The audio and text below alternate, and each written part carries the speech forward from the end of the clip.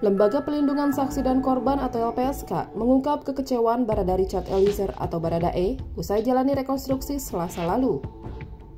Wakil Ketua LPSK Edwin Partogi menyebut, Baradae kecewa kepada Ferdi Sambo terkait penembakan kepada Brigadir J alias Joshua Huta Barat.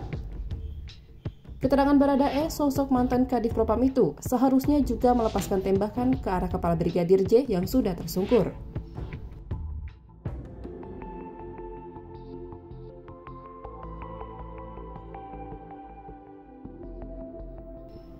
Edwin yang turut hadir melihat rekonstruksi mengungkap bahwa Verdi Sambo kukuh tidak melakukan penembakan terhadap Brigadir J.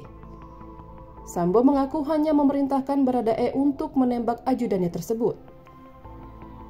Sementara itu, keterangan keduanya senada terkait Verdi Sambo mengambil pistol. Kemudian sengaja menembakkan ke arah dinding atas tangga dan juga di tembok sisi lainnya. Tembakan ini yang dijadikan alibi adanya penembakan antara polisi di rumah dinasnya. Meski Sambo membantah, Polri dalam rilis melalui video animasi menggambarkan detik-detik mendebarkan penembakan terhadap Brigadir J.